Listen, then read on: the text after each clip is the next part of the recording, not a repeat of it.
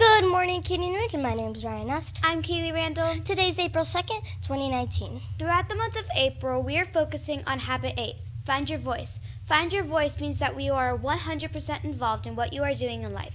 The body, mind, heart, and spirit are all engaged in the adventure of life.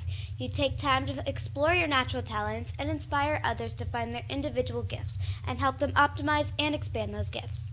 When was the time this school year when you have inspired someone else to do their absolute best? Teachers, please remember to post the question in your classroom each week and take time to talk or write about the question with students.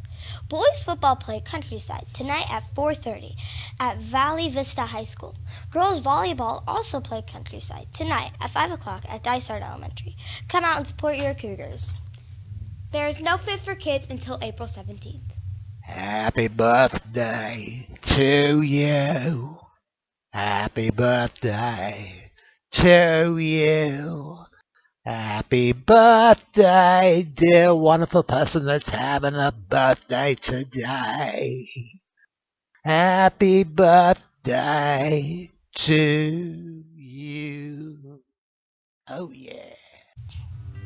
Today, we would like to wish a happy birthday to Addison M in third grade and Mia Z in fourth grade. Have a great day.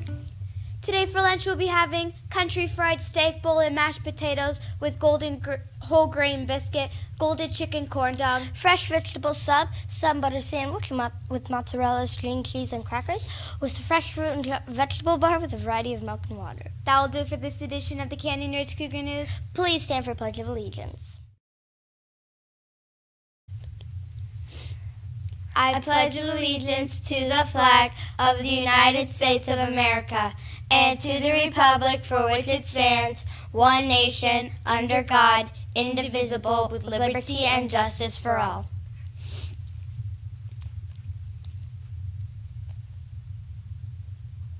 We hold these truths to be self evident that all men are created equal, that they are endowed by their Creator with certain unalienable rights, that among these are life, liberty, and the pursuit of happiness. That to secure these rights, governments are instituted among men, deriving their just powers consent of the governed. Please remain standing for a moment of silence.